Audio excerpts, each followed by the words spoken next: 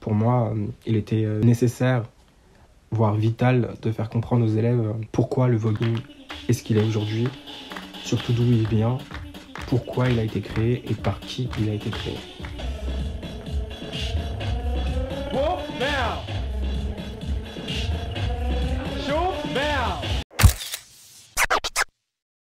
Moi, le voguing maintenant, donc de ce que j'ai appris, c'est vraiment une danse, un style de danse qui a permis à la communauté LGBT de s'exprimer et vraiment de, de vraiment dévoiler la, la vraie personnalité intérieure qu'ils étaient, qu'ils ne pouvaient pas être tous les jours euh, dans les, dans les rues, etc.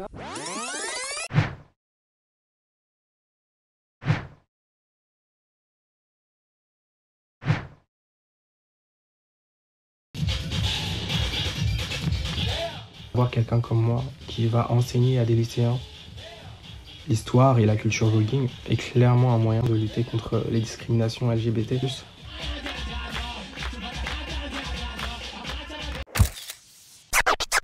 Avoir accès à cette communauté nous a permis de comprendre, de pratiquer et de se projeter sur des questions euh, sociétales extrêmement importantes.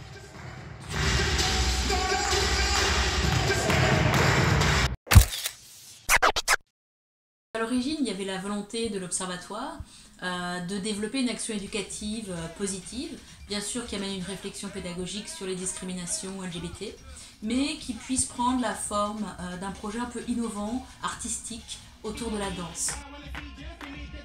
Et qui permet aux élèves à la fois d'incarner, de, de, mettre en corps, de réfléchir et de déconstruire les normes de genre, la féminité, les codes de la féminité socialement construits, c'est précisément ce que apporte le voguing qui a un potentiel critique très intéressant.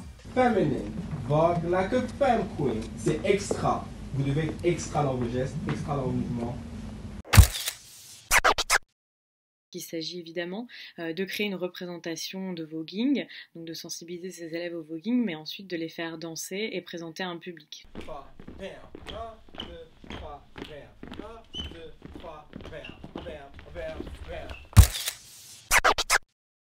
C'est bien qu'il y ait une journée internationale pour ça parce que euh, beaucoup de gens euh, se font harceler, agresser juste parce qu'ils euh, ont une sexualité différente. Vraiment que ça change. C'est comme pour le racisme. Je trouve ça bien ce jour pour lutter contre la LGBT-phobie. Et on va se battre ensemble pour lutter contre ça parce que c'est vraiment pas normal. Ça devrait vraiment être banni de cette planète. Le message est super simple. It's okay to be different.